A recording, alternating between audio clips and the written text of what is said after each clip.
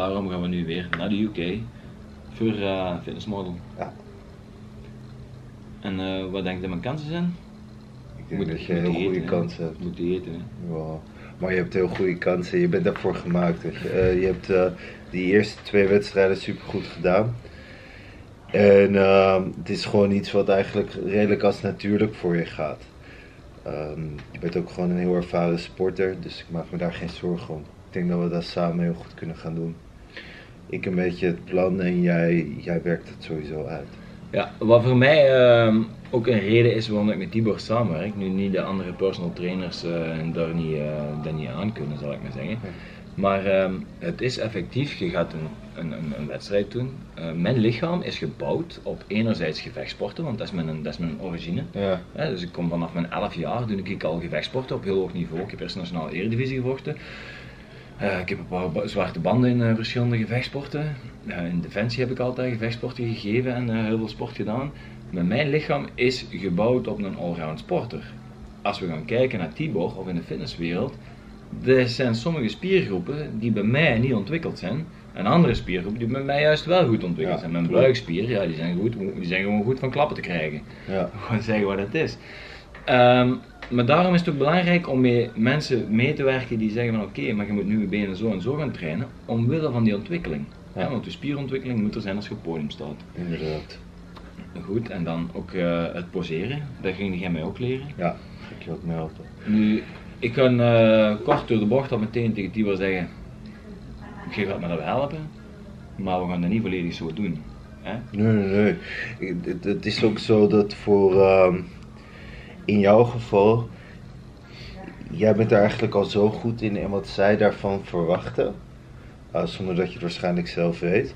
Maar dat dat voor 85% al helemaal vanuit jouzelf gaat komen eigenlijk. En ik gewoon enkel alleen hoef te zeggen, ik zal dit en dat even tweaken. Ik zou die beweging net wat anders doen. Ik zou dit misschien even... Tweaken? Ja. Tweaken, dus tweaken is zoiets anders, hè? Dat is zo aanpassingen Komt maken. draaien en uh, shaken. Ja, nee, nee. Gaan we niet doen op het podium, hè? Mensen, we hebben het allemaal gehoord. Hij gaat tweaken op het podium. Ik doe het niet. Andere vorm van tweaken, maar in ieder geval dus gewoon uh, puntjes op de i. Nee, um, ik ben blij dat je het zelf zegt. Um, waarom? Als ik ergens moet gaan meedoen, of ik moest vroeger een wedstrijd vechten en ik moest tegen iemand gaan kampen, ik bestudeerde met een kamper altijd, dus ik ging dan analyseren hoe vecht hij, welke stijl doet hij. Als je gaat kijken, uh, uh, Floyd Mayweather heeft dat gedaan, uh, McGregor heeft dat gedaan. Dana White vraagt aan al zijn atleten, zelfs in de UFC, ga een keer kijken, bestudeer de filmpjes van uw tegenstander. Waarom is dat, denkt de mannen? Om te kunnen zien van oké, okay, naar welke stijl moet ik toe gaan werken. Dus wat doe ik? Ik zet me naar Google open, ik tik in fitnessmodel, WBWF, bla bla bla, van een die tot een die podium. En ik ga bekijken wat die mensen doen. Ja. Tibor gaat me doorheen begeleiden, maar ik ben nog altijd zoiets, ik heb nog altijd zelf een beetje van, je, je moet op podium gaan en jij staat op die moment op podium, ja, niet Tibor. Nee. Hij heeft, hij heeft, zijn, hij heeft een, zijn podiummomenten, dat hij op podium staat en dan weet hij goed genoeg wat hij moet doen. Maar ik ben ervan overtuigd, als je op podium gaat staan en je gaat een draaiboekje aflopen, een filmpje spelen, dat je gerepeteerd hebt tien keer achter elkaar, je verliest de interactie met je publiek. Ja. En ik denk dat dat ook heel belangrijk is, van het moment dat ik op podium ga komen, ga ik kijken hoe gaat het publiek reageren. Zie ik dat een atleet voor mij bepaalde dingen laat zien waar dat heel goed reageert Ja. uh, op het publiek, daar ga ik op inspelen. Want ik wil dat publiek ook winnen natuurlijk van mij. En dat is belangrijk dat je als atleet ehm, de vrijheid of de begeleiding van een coach krijgt, waarin dat je dat kunt doen. Ja, want het is, ik, vind, ik vind het persoonlijk heel belangrijk dat je kunt zeggen, oké, ik ga op podium, ik heb dat beetje lef of zelfvertrouwen, om, de, om het zo maar te zeggen, om er een twist aan te geven. Om te zeggen, oké, ik ga iets grappigs doen. Bijvoorbeeld in de UK, had je mijn move gezien dat ik op podium kwam? Ja, ja. Al die mannen zoen pataten van benen en ik sta met mijn schil, met mijn kieken- kiekenbeentjes. Ik ga op het podium, eh, een beetje flexen, zoals Tibor zegt, poses aanhouden en zo. En ik wijs zelf naar mijn benen en ik doe ik zelfs nog zo, nee knikken en ik zit te lachen. Met mijn eigen.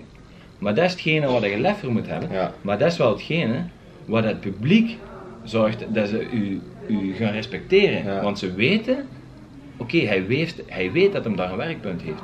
Nu uiteindelijk, ik evalueer, ik heb mijn benen ook beter en beter getraind. Ja, het zijn sowieso beter. Ehm, maar dat is belangrijk dat je zo'n dingen doet. 100%. Zeker bij deze bond die eh, super commercieel is en er ook echt op gefocust is, dus zoals ik al zei. Om eigenlijk het beste te laten zien van ja, er zijn geen mandatory poses en zo. Je hoeft niet ehm, je te houden aan bepaalde richtlijnen. Dus je kan er echt een show van maken. Ze noemen het ook geen wedstrijden. WBFF noemt het shows. Dat zegt eigenlijk al genoeg. Dus je moet, zoals je zegt, je moet inderdaad er gewoon karakter uitstralen. Een beetje lachen, leuke dingen doen. ehm, en, en er een, een show van maken. Zorgen dat het publiek iets leuks heeft om naar te zien. Hoe, hoe noemt ze nu? Nelle? Hoe noemt ze? Evelien Nelle. Evelien Nelle, als je er foto's ziet, dat zijn zo pluimen en dit en dat. En als er zo nog zo iemand in België die zo rondloopt, zo'n kleine tjoeper zo, hoe noemt ze? Volgens mij Eva Maas of zoiets. Precies Ja. hoe dat ze zo meedoet in zo'n film van eh Gladiator. Eh dat zet er niet op podium bij IFBB. Nee. En hier wel. En waar zetten ze dat nog? Bij Victoria's Secret, op allemaal van die grote shows, zetten ze zo'n dingen op. En dat is belangrijk, dat de mensen Ja. dat leren aanvaarden van... je- De mensen die daar op het podium komen zijn een show aan het geven. Ja. En die zijn niet alleen maar bezig met hun eigen lichaam. Snap je? Dus welke dingen zijn er belangrijk? Dat is één, uw fysiek. Ja. Twee, uw voorkomen, van hoe sta ik op het podium, hoe presenteer ik mijn eigen met de poses, hoe, hoe kan ik mijn spieren opspannen. En drie, vind ik heel belangrijk, is zelfvertrouwen. Ja. Als je zelfvertrouwen kunt tonen aan de jury, is heel belangrijk. Dat is toch hetgene wat jij tegen mij gezegd hebt. Ja, 100%. En wat ik ervaar uit de modellenwereld is, een million dollar smile makes a million dollar. Ja. Niet dat ik een miljoen dollar verdien, maar ik kan wel lachen op het podium en ik verdien wel mooi mijn geld ermee. Ze hebben altijd tegen mij gezegd, Henny, hoe komt het toch dat je zo mooi lacht op de foto's en elke keer opnieuw zo spontaan? En dan denk ik, nee, maar het is de fotograaf die mij betaalt, waarom zou ik niet lachen, voordat ik hier ga staan? Dus dan mag iedereen tegen mij zeggen en ermee lachen van ja, maar je zet dit en toen en dat en toen en lachen, lachen, lachen. Maar dan ga maar mooi uw ding doen, doe ik mijn ding met mijn kassa is gevuld. Ja.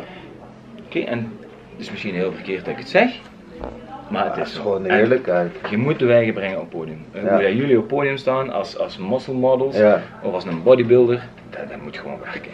Ja, 100%. Nu ehm, is ook muscle models zijn, wat ik daar het mooie aan vind, is, is dus we, hebben eigenlijk de massa van een bodybuilder. Alleen wordt ook van ons verwacht om gewoon een, de show te brengen van een fitnessmodel. Dus vandaar dat ze ook zeggen muscle model. Dus het is die wel, ehm, wel de wat meer overdreven gespierdheid en dergelijke, maar nog steeds wel commercieel. Hè? Ja. Ah, en dat trekt mij daar ook veel meer in aan. Ja, eh, voor degenen die eh, zijn fysiek niet kennen, gaat dan gewoon even naar Instagram en het is uh, Tibor Fysiek is het juist. Ja, Tibor fysiek. Ehm, dan zie je wel zo'n mega beest op foto, maar hij is niet veel groter dan mij. Dus. Allee. Dat is nog zoiets, de meeste mensen spreken in groottes en volumes en zo. Ik spreek grootte, de lengte, breedte, Ja. hoe, hoe breed? Hij is mega breed, maar hij is klein. Ja. Terwijl een ander zou zeggen, hij is groot in volume. Oké, maar eh, hij heeft heel veel foto's gemaakt met Tibor Chong, eh of Tibor Chong. Justin Chung. Justin Chong, eh, en dat was dan ook een van zijn coverfoto's. Ehm. Hij is ook al heel de wereld rondgegaan, tot in Singapore zelfs voor wedstrijden te doen.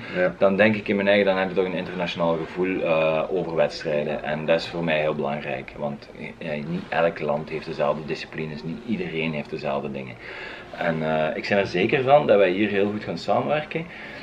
Ik eh, had ook gezegd dat je een trainingssysteem had dat meer past in mijn stijl Ja. van trainen. ehm, en dat vind ik ook heel goed. Eh, daar ben ik ook heel, eh, heel dankbaar voor. De voeding gaan we het ook nog over hebben. Ja. Het is voor mij gewoon heel belangrijk dat ik niet in volume ga groeien, te veel. Maar jij zei ook van, kijk, we gaan nu even groeien en van het moment dat we komen op de wedstrijd gaan we terug afbouwen. Ja. Juist hè? En maar zelfs in dat, we gaan het eigenlijk zo aanpakken dat om de rest van jouw carrière eigenlijk te ondersteunen in plaats van het tegen te werken, gaan we zorgen dat we echt ehm, hetzelfde gewicht eigenlijk continu ongeveer blijven, maar het vet gewoon afbouwen en spiermassa opbouwen, waardoor je figuur eigenlijk niet zozeer verandert in kleding. Je, je, je gaat er nog steeds hetzelfde uitzien in kleding. Je gaat er alleen veel beter uitzien zonder die kleding. Maar het gaat je dus niet in de weg zitten. Mensen gaan je niet opeens een monster vinden of iets dergelijks. En dat is denk ik de way to go wanneer je een publiek figuur bent. Ja, nu, ehm, voor mij is de voeding heel belangrijk. Want ik ben met Alexander Pauwels gaan trainen in Mallorca. Eh, we hebben daar eigenlijk videosessies gedaan eh, voor Slow Motion Video Channel van Amerika. En ehm, om het aan te tonen hoe, hoe gevoelig dat ik ben voor voeding. eh, ik ben daarheen gegaan met het beeld dat dadelijk, zet ik twee foto's eh, in beeld. Het ene is eh, van dag 1 en het andere is van dag 7. Nu, wij hebben daar van morgens tot 's avonds liggen trainen. En letterlijk, toen heb ik zoiets van, je me fous mon manger. Het kan me niet schelen wat ik eet, maar ik eet. Ehm, s morgens een kei vettig ontbijt. Door de dag niks anders dan proteïne shakes en proteïnerepen. En s'avonds zo vettig eten als maar kan zijn. Eh, tot de vettigste hamburgers, crèmes, alles. Maar we waren wel aan het trainen van 9 uur s morgens, non-stop, tot 9 uur s'avonds. Met gewoon herhalingen te doen. En gewoon simpele herhalingen. Passeren. Ja, het poseren Ja, viel dan nog wel mee, want het ging eigenlijk veel meer over de filmpjes. Maar we hebben dan ook inderdaad foto's gemaakt en zo. Maar altijd gewoon herhalingen, herhalingen, herhalingen. Dan op die positie, eh, die, die, die locatie herhalingen doen, die oefeningen daar doen. En ik heb daar een heel groot verschil in massa gehad. Dus dat zie je nu in de twee foto's. Als je het eh, links en rechts, twee verschillende foto's. Dat is eigenlijk zeven dagen van elkaar af, puur alleen met voeding. Dus daarom is ook belangrijk dat Tibor mij nu gaat helpen met de voeding op de juiste manier te doen, Ja. eh, op punt te houden, om niet terug te veel massa te gaan krijgen. Hè, dus dat is voor mij belangrijk. Dus ik wil wel de shredded guys en eh, laag vetpercentage mooi afgeleid, maar niet gelijk hem. Want ik moet nog eh, op tv in mijn politiekostuum kunnen komen en dat kan ik anders niet. Nee. Dus deze wedstrijd van de UK, dat gaat de eerste zijn die we gaan doen. En Ja. misschien dat we er nog iets tussendoor hebben, maar als dat doorgaat, gaan we dat zeker direct weten, sowieso. Dus ehm, op Instagram, Tibor Koppers. Tibor Oh. Fysiek. Wow. Fysiek. Ja, kijk, ik Ja, maar Tibor principe... Koppers vinden ze ook. Ik ben van principe, je moet altijd een naam gebruiken. Ja. Dus bij mij is het Ad Hennis Roeien en bij hem is het Ad Tibor Fysiek. Volg ons maar op Instagram. Eh, je kunt die kant of die kant, moeten we kijken hoe de video gedraaid is, subscriben op deze YouTube channel. Heb je tips nodig over de training? I'm your guy. Alright, see you en eh, hopelijk met meer en meer nieuws elke keer. Tot de volgende.